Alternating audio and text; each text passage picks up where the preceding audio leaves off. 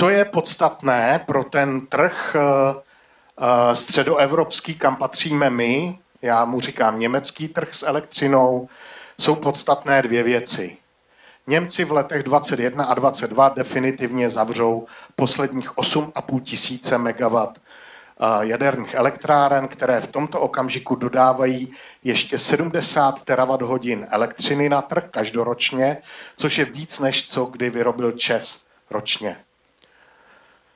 A současně s tím Němci chtějí odstavit hnědouhelné elektrárny. Jenom mezi, a to ve stejném čase, znovu kolem let 21 a 22 a ten výkon opět chtějí snížit o nějakých 7 až 10 tisíc megawatt instalovaného výkonu v Německu a, na, a následně velmi rychle pod, pokračovat s odstavováním uhlí do roku 30. Tohle se samozřejmě nemůže obejít na tom trhu bez důsledků. A zatímco v letech 2010 až 2020 region žil s obrovským přebytkem výroby elektřiny, především díky velmi rychlému rozvoji obnovitelných zdrojů, který máte zaznamenán tady na, na grafu. Mezi roky 2010 až 2013 velmi rychle, to žluté je růst instalovaného výkonu solárních elektráren.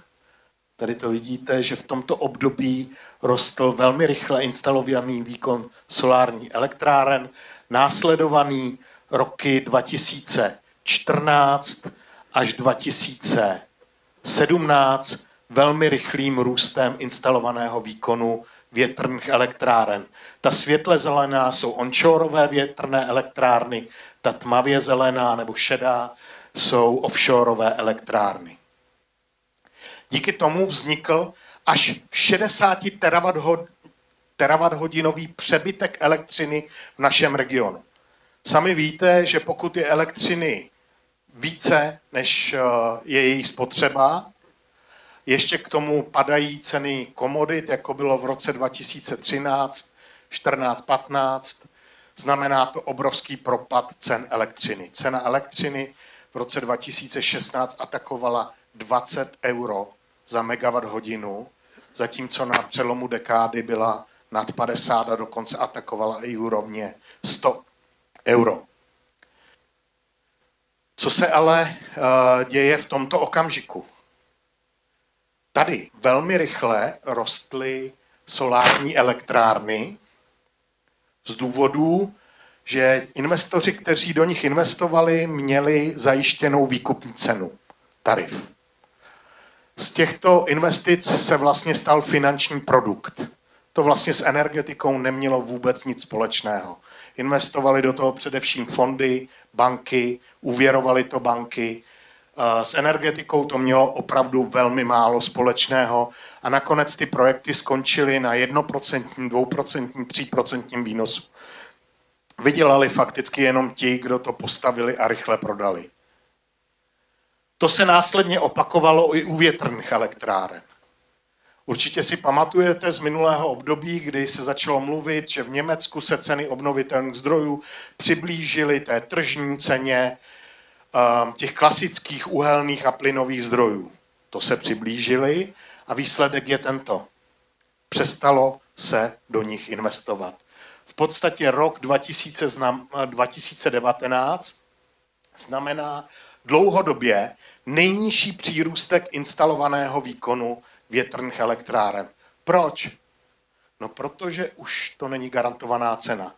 Už je v podstatě jiný požadavek už do toho neinvestují pojišťovny, banky, fondy, protože už je to tržní riziko. A jakmile máte tržní riziko, už to není finanční produkt a je vyžadován úplně jiný investor. A najednou se ukazuje, že Němci sice chtějí zavírat jaderné elektrárny, uhelné elektrárny, ale současně jim padá uh, výkon nově stavěných větrných elektráren, které jsou, které jsou základem jejich přístupu energie vende. No a co je důsledkem? Tohle je zásadní graf, který ukazuje, co se stane v našem regionu. Ta modrá čára ve spodu je spotřeba, hrubá spotřeba na německém trhu, ta červená je hrubá výroba. Tady z toho grafu, já jsem to tady vyšrafoval zeleně, vidíte to, o čem jsem mluvil. 50 terawatt hodin elektřiny navíc, kterou nikdo nechtěl, nikdo nepotřeboval, byl, byl to obrovský přebytek. Německo se od roku 2011, kdy odstavilo jaderné elektrárny, dostalo ve velmi krátké době do obrovského přebytku výroby elektřiny, kdy exportovalo 50 až 60 terawatt hodin elektřiny ročně. A tohle v následujících letech zmizí jako mávnutím proutku. Dokonce se velmi pravděpodobně stane, že právě po zavření jaderných elektráren mezi roky 21 a 22 se Německo na nějakou dobu s jistotou stane deficitním trhem. To znamená, úplně se změní ta situace na trhu, kdy tady 10 let byl obrovský přebytek elektřiny a najednou jí v regionu bude poměrně velký nedostatek.